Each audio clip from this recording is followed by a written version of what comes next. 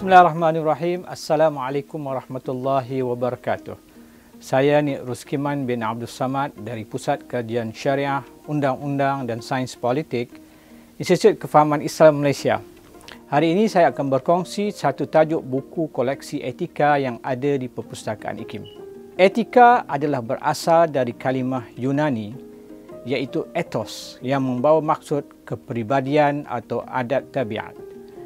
Ethics atau etika membawa maksud prinsip moral atau nilai-nilai kepribadian atau akhlak serta adab yang menjadi pegangan seseorang individu atau kumpulan manusia.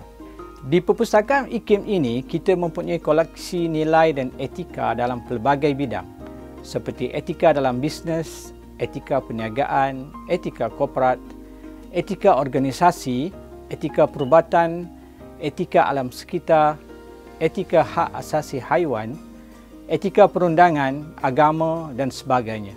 Dan tidak hanya tertumpu kepada etika bidang agama sahaja tetapi juga dalam semua disiplin-disiplin ilmu yang lain yang merangkumi lebih 2000 naskah dalam bahasa Melayu, Inggeris dan bahasa Arab. Buku yang ingin saya kongsikan pada hari ini adalah bertajuk Kepimpinan dan Amanat Peradaban yang disunting oleh Dr. Muhammad Sani Badron dan Puan Nur Hatini Syari. Buku ini menceritakan tentang etika kepimpinan dan bagaimana untuk menjadi pemimpin yang baik seperti mana dituntut oleh ajaran Islam.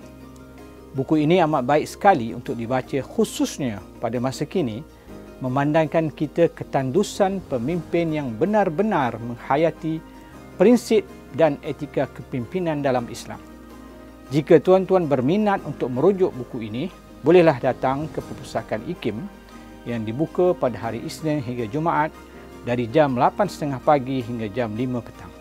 Sekian perkongsian saya pada kali ini sehingga bertemu lagi di masa akan datang. Assalamualaikum warahmatullahi wabarakatuh.